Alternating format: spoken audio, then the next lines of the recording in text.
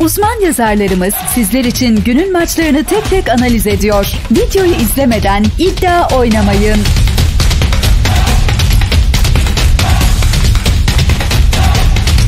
Maalesef elinizdeki verileri benimle paylaşmadığınız için yorumlarımı ve tahminimi takımların popülerliği üzerinden yapacağım. Viborg'un son dönemde güçlü bir çıkış içinde olduğunu ve taraftarlarının büyük bir kısmının bu maçta takımlarına güvendiğini görüyorum. Bu da takımın moral ve motivasyonunu olumlu yönde etkileyecektir. Diğer yandan, LNGB takımının ise bir miktar desteğini yitirdiği ve bu eşleşmeyi biraz gergin beklediği görülüyor.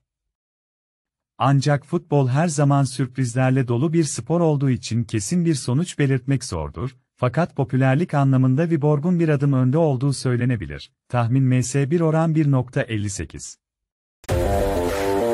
Maçla ilgili senin de yorumun varsa yorumlarda sen de paylaş. Videomuzu beğenip kanalımıza abone olmayı unutmayınız.